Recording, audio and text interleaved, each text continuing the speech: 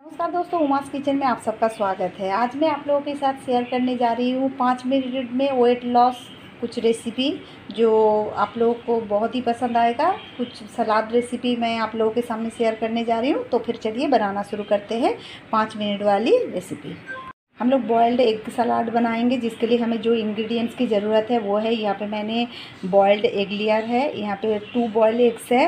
और यहाँ पे मैंने थोड़ा सा कुकुम्बर लिया है, जिसको मैंने ऐसे क्यूब में काट लिया है। थोड़ा सा टमाटर है, ऑनियन को भी रफली चॉप करके थोड़ा सा रखा है। यहाँ पे ब्लैक सॉल्ट है थोड़ा सा चाट मसाला है, ग्रीन चिलीज़ है और यहाँ पे थोड़ा सा ब्लैक पेपर है। मैं ऑयल फ्री रेसिपी बनाऊँगी तो फिर चलिए बनाते हैं।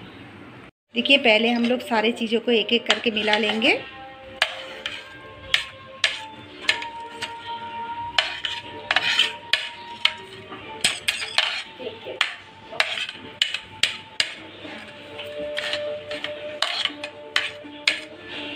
उसके बाद इसमें एग्स भी डाल देंगे।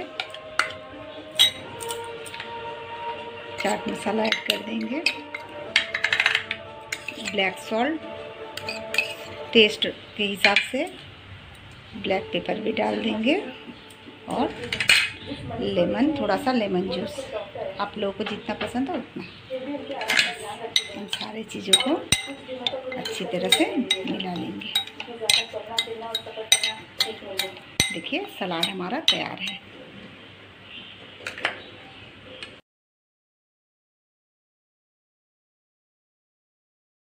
है मूंग है और चना है, जिनको मैंने हाफ़ हाफ़ कुक कर लिया है, हाफ़ बॉईल कर लिया है इसको। अभी इसको इसमें डाल दूँगी, उसके बाद इसमें मिलाऊँगी थोड़ा सा कुकुम्बर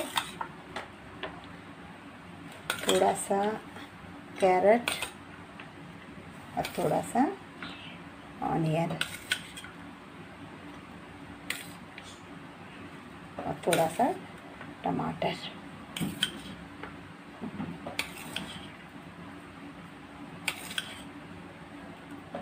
इसमें थोड़ा सा ग्रीन चिली भी ऐड कर देंगे। ये आप लोगों को पसंद होगा तो ही करना।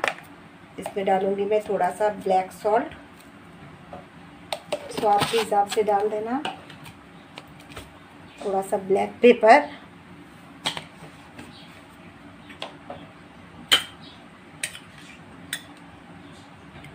लेमन जूस और ये भुना हुआ जीरा पाउडर. इन सारी चीज़ों को मिक्स कर लेंगे. सलाद हमारा रेडी है. अब इसे हम सर्व कर देंगे.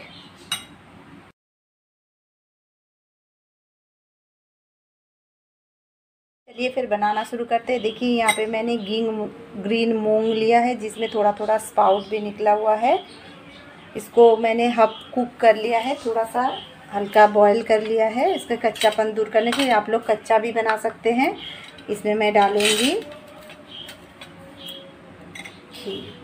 कुकुम्बर, चॉप किया हुआ ग्रीन चिलीज़ थोड़ा सा टमाटर।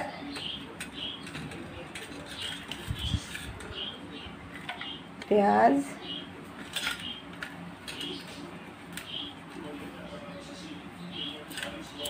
इस पर डालूँगी थोड़ा सा चाट मसाला।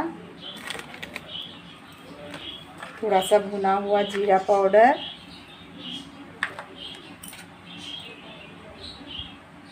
Lemon juice. और इसमें डालूँगी टेस्ट के लिए ब्लैक सॉल्ट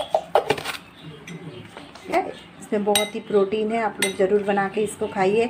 वेट लॉस में ये बहुत ही काम आता है।